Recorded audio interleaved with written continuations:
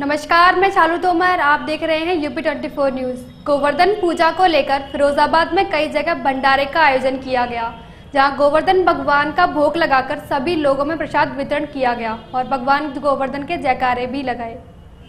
मनकामेश्वर महादेव मंदिर काफ़ी भव्य, प्राचीन मंदिर है और इस मंदिर की प्रतिवर्ष श्री रामकिशोर वशिष्ठ जी लल्ला बाबू उनके भाई जिसको पूरा परिवार और चौकी गेट के सारे निवासी यहाँ पर हर त्यौहार पर किसी विशेष प्रोग्राम पर भंडारा इत्यादि भजन कीर्तन आदि करते रहते हैं जो आप, आप आसपास के एरिया को शुद्ध वातावरण बनाता है और लोगों को धर्म के प्रति प्रेरित करता है।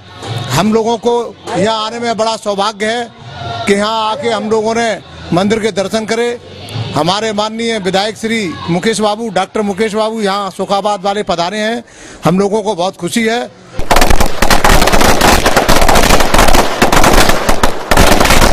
कन्हैया लाल गुप्ता महानगर अध्यक्ष, फिरोजाबाद की तरफ़ से। धनतेरस, दीपावली व भैया दूज की हार्दिक शुभकामनाएँ। नदीम अहमद, वार्ड नंबर 14 से एआईएमआईएम पार्टी के पार्षद प्रत्याशी की तरफ़ से धनतेरस, दीपावली व भैया दूज की हार्दिक शुभकामनाएँ। लक्ष्मी फाउंडेशन की तरफ़ से धनतेरस, दीपावली व भैया दूज की हार्दिक शुभकामनाएँ।